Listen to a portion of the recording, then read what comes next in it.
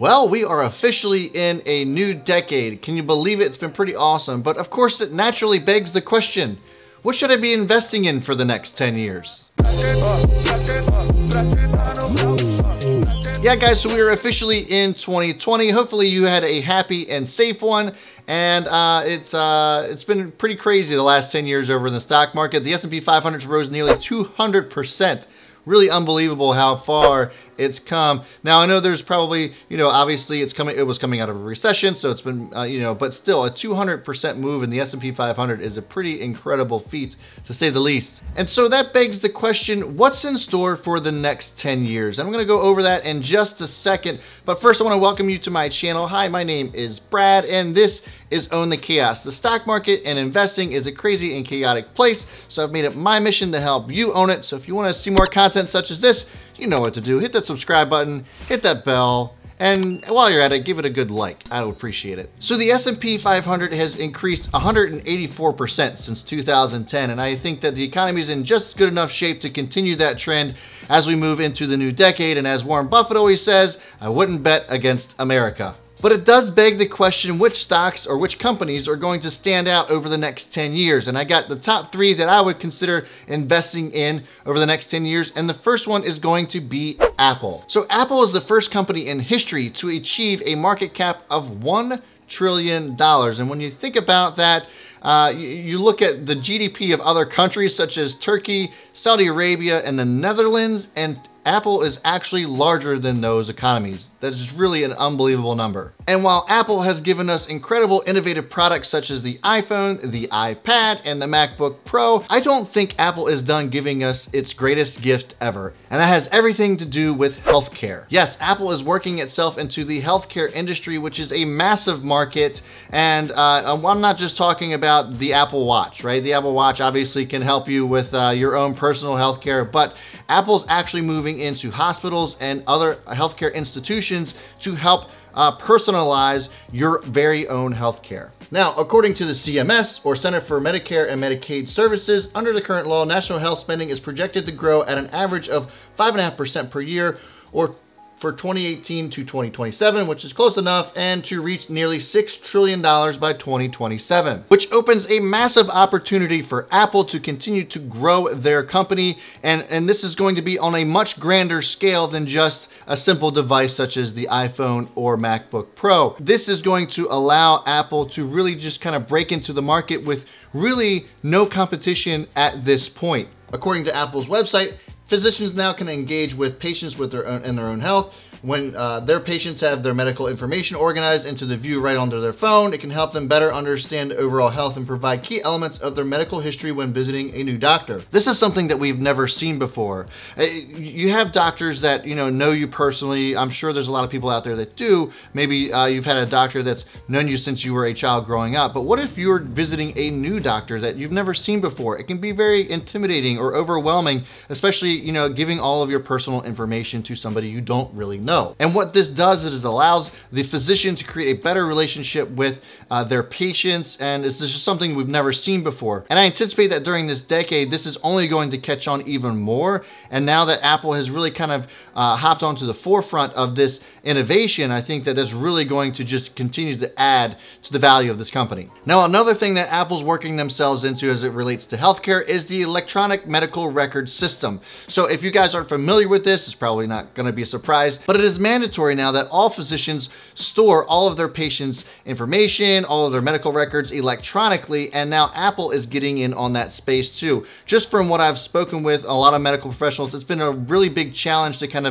get that all stored, and so now Apple is kind of stepping in and really kind of helping to take over that part and make things more efficient, make things more um, you know, easier to find. And, and, really when it comes to shifting physicians, if you go to a new doctor or whatever, it makes things so much easier. It's going to help really in that healthcare space to be a much better uh, environment, better industry than it is right now. Now, there are other competitors into this space, but they really pale in comparison as it relates to Apple and what they're just capable of doing. They don't have the same resources that Apple does, and I really do feel like Apple's going to end up taking over this space as a whole and really becoming the juggernaut as far as healthcare is concerned. And along with all three of these stocks that I'm going to be talking about, I'm going to give my predictions for 2030 and the prediction for Apple is going to be a market cap of $2.1 trillion or a price per share around $700 per share. Now, the second stock that I'm going to be talking to you about is Tesla, with a $75 billion market cap and an increase of 1700% since its 2010 IPO. Tesla, I think, is only going to continue to go up from here, and it is still very much in its infancy stage. Now, although it has gone up 1700% over the last 10 years, just in the third quarter of 2019 has Tesla actually started to become profitable in their business. And so that is why I think that this is, there's plenty of room for Tesla to have exponential growth moving forward. And uh, it really is only looking up from here. On top of the fact that they are just now earning a profit finally, I think that Tesla is really going to take over not only the, the electric vehicle market as they already seemingly have, but also the battery market. They have uh, you know, a, a, tremendous control over the battery market, especially as it relates to, uh, you know, automotive vehicles. But all, not only that, but also in the solar space. So they have, uh, you know, solar, their, their solar. Um, uh, company that they have acquired, which was Solar City. And uh, so the solar panel industry itself is going to really continue to propel Tesla upward and onward. But Tesla is also providing these batteries that will store the energy that these solar panels, uh, you know, absorb so that you can use them for 24 hour continuous off the grid use. Now, Tesla was under a lot of hot water about this, but I think that they are going to be the ones that come out on top of this. The company came under tremendous pressure from shareholders and short sellers that for, for that acquisition because it acquired the struggling solar panel maker's debt as part of the deal. But one thing uh, that Ron Baron made clear was that for Solar City, on the basis of importance of, of its product portfolio to Tesla, according to Baron, Solar City's products could help homeowners generate electricity at affordable rates thanks to the subsidies offered to renewable energy products to charge for their electric cars, which I think is genius and really kind of only attests to the business model that Tesla is trying to uh, continue to build upon. I spoke in a previous video that Tesla is looking to not only just build products, but also acquire resources to build those products so that everything is done in-house. If they have control over all the natural resources that it takes to construct a battery, and then they have batteries to sell you, it's going to be really tough for any competitor to come into this space and really take them over. And I think that the more uh, that Tesla really kind of pushes themselves themselves into the battery making space, to solar space, as well as electric vehicles, uh, you're really going to see Tesla propel and uh, be uh, just a juggernaut in this space as well, which puts my Tesla prediction